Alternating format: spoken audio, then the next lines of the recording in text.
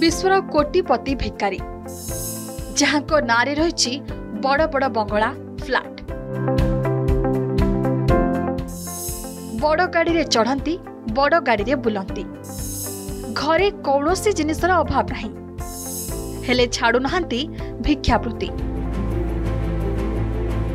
ରେଳ station hotel କୌଣସି ଗଳିକନ୍ଦିରେ କି ମନ୍ଦିର ଆଗରେ ଭିକାରୀ ବସିବା ଭାରତରେ କିଛି ନୂଆ କଥା ନୁହେଁ। ଆଉ ଯେତେ ଯେଉଁଠି ଏମାନେ ବସିଥାନ୍ତୁ ନା କାହିଁକି ଏମାନଙ୍କୁ ଦେଖିଲେ ଆମ ହାତ ଆପେ ଆପେ ଦାନ କରିବାକୁ ପଳାଏ। କିନ୍ତୁ ଏମାନଙ୍କ ଭିତରେ କିଛି ଏପରି ଅଛନ୍ତି ଯେଉଁମାନେ ଆପଣଙ୍କଠାରୁ ଧନୀ। ଆଜ୍ଞା ହଁ ଦର୍ଶକ ବନ୍ଧୁ। କିଛି ଭିକ୍ଷୁକଙ୍କର ଏତେ ଧନ ସମ୍ପତ୍ତି ଥାଏ ଯେ ଯାହା ଆପଣ କେବେ କଳ୍ପନା ବି କରିପାରିବେନି।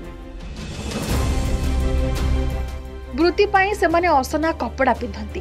ଅସୁନ୍ଦର ଦିଶନ୍ତି ସତ। ହେଲେ ଏମାନେ କୋଟି କୋଟି ଟଙ୍କାର ମାଲିକ।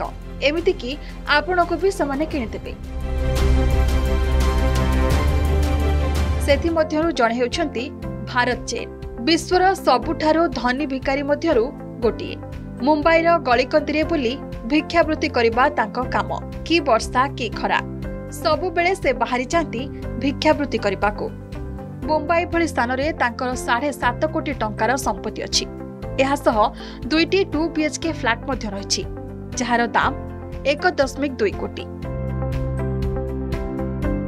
ଭିକ ମାଗି ପ୍ରତି ମାସରେ ସେ ଇନକମ୍ କରନ୍ତି ଷାଠିଏରୁ ସତୁରି ହଜାର ଟଙ୍କା। ଏପରିକି ଦୁଇହଜାର ଏକୋଇଶ ଫେବୃଆରୀରେ ବାହାରିଥିବା ଏକ ରିପୋର୍ଟ ଅନୁଯାୟୀ ତାଙ୍କର ଦୁଇଟି ଆପାର୍ଟମେଣ୍ଟ ମଧ୍ୟ ଅଛି ଯାହାର ଦାମ ଏକ କୋଟି ଚାରି ଲକ୍ଷ। ଖାଲି ଏତିକି ନୁହେଁ ଥାଣେରେ ତାଙ୍କର ଦୁଇଟି ଦୋକାନ ମଧ୍ୟ ରହିଛି ଯାହାର ଭଡ଼ା ମାସକୁ ଆସେ ଷାଠିଏ ହଜାର ଟଙ୍କା। ଏହା ବାଦ ସେ ଦିନକୁ ଦଶରୁ ବାର ଘଣ୍ଟା ଭିକ ମାଗିଥାନ୍ତି। ଯେଉଁଥିରୁ ଦିନକୁ ଦୁଇରୁ ଅଢ଼େଇ ହଜାର ଟଙ୍କା ସେ ରୋଜଗାର କରନ୍ତି। ଯେଉଁଠି କମ୍ପ୍ୟୁଟର ଆଗରେ ବସି ଦିନକୁ ଆଠରୁ ଦଶ ଘଣ୍ଟା ଖଟିଲେ ବି ଲୋକେ ହଜାରରୁ ଦୁଇ ହଜାର ଟଙ୍କା କମାଇବାକୁ ସାମର୍ଥ୍ୟ ନୁହନ୍ତି। ଭାରତ ଜୈନଙ୍କ ଘରେ ସ୍ତ୍ରୀ ଦୁଇ ପୁଅ ତାଙ୍କ ବାପା ଓ ଭାଇ ରୁହନ୍ତି। ସେ ଯେତିକି କମାଉଛନ୍ତି ସେତିକିରେ ଘରେ ଆରାମରେ ଚଳୁଛନ୍ତି। ଏମିତିକି ସେମାନେ ତାଙ୍କୁ ଆଉ ଭିକ ମାଗିବାକୁ ମନା କଲେ ବି ସେ ଶୁଣୁନାହାନ୍ତି ବରଂ କହୁଛନ୍ତି ଯେଉଁ ବୃତ୍ତି ମୋତେ ଧନୀ କରିଛି ତାକୁ କେମିତି ମୁଁ ଛାଡ଼ିଦେବି ଯେ ପର୍ଯ୍ୟନ୍ତ ମୋ ହାତ ଗୋଡ଼ ଚାଲୁଛି ଏ ବୃତ୍ତି ମୁଁ ଛାଡ଼ିପାରିବିନି ବ୍ୟୁରୋ ରିପୋର୍ଟ ଅର୍ଗସ୍ ନ୍ୟୁଜ୍ ମନରେ କୋହ ଓ କ୍ରୋଧ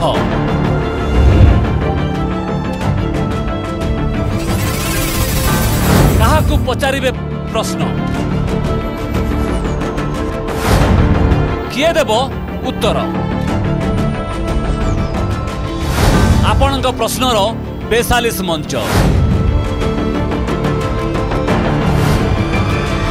ପ୍ରଶ୍ନକାଳ।